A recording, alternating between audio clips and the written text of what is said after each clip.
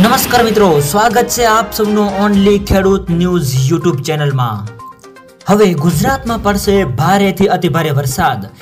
Cyclonic circulation સિસ્ટમના કારણે ભારેથી અતિભારે વરસાદની આગાહી તેમજ ચાલીસથી પિસ્તાલીસ કિલોમીટર પ્રતિ કલાકની ઝડપે પવનો ફૂંકાવાની પણ શક્યતા. તો મિત્રો, વીડિયો ગમે તો વિડીયોને લાઇક કરો શેર કરો કોમેન્ટ કરો અને સબસ્ક્રાઇબ નથી કરી ચેનલ તો સબસ્ક્રાઇબ જરૂર કરજો અને આવો જ સાથ અને સહકાર પણ આપતા રહો. તો મિત્રો, હાલની આપણે જો વાત કરીએ તો રાજ્યના છૂટાછવાયા વિસ્તારોની અંદર ભારે વરસાદ તો અમુક હશે. વીજળીના કડાકા ભડાકા સાથે ભારે વરસાદ જોવા મળી રહ્યો છે. એવામાં નવી આગાહી પ્રમાણે આગામી સાત દિવસ સુધી આ વિસ્તારોની અંદર જે છે એ વીજળીના કડાકા ભડાકા સાથે તેમજ અમુક અંશે હળવા પવન સાથે વરસાદની આગાહી વ્યક્ત કરવામાં આવી રહી છે. જેનું એકમાત્ર કારણ કહી શકાય સાયક્લોનિક સર્ક્યુલેશન સિસ્ટમ. તો મિત્રો, સાયક્લોનિક સર્ક્યુલેશન સિસ્ટમના કારણે રાજ્યના અલગ અલગ વિસ્તારોની અંદર ભારે વરસાદ તો અમુક અંશે વીજળીના કડાકા ભડાકા સાથે વરસાદની આગાહી વ્યક્ત કરવામાં આવી રહી છે.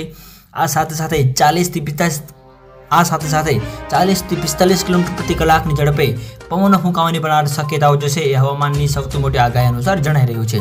તો બીજી બાજુ અમદાવાદ, ગાંધીનગર, અરવલ્લી, બનાસકાંઠા, પાટણ વગેરે વિસ્તારોના અંદર મિત્રો વરસાદની જે છે એ આગાહી પણ વ્યક્ત કરવામાં આવી રહી છે.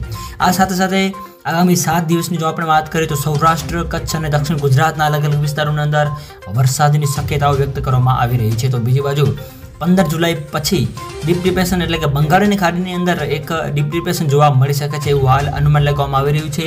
જેની મિત્રો સમગ્ર નવી અપડેટ જેમ આવતી જશે એમાં અમે તમને જણાવતા રહીશું. આ સાથે સાથે મિત્રો આ ડીપ ડિપ્રેશન જે છે એ ગુજરાતને કેટલી આ સિસ્ટમ કેટલી અસર કરશે તેના વિશે પણ મિત્રો જેમ સમગ્ર નવી અપડેટ આવતી જશે એમાં અમે તમને જણાવતા રહીશું. તો મિત્રો, વીડિયો ગમે તો વિડીયોને લાઇક કરો શેર કરો કોમેન્ટ કરો અને ચેનલમાં નવા હોય તો ચેનલને સબસ્ક્રાઇબ નથી કરી તો સબસ્ક્રાઇબ કરો. મિત્રો, આપ સૌનો ખૂબ ખૂબ આભાર.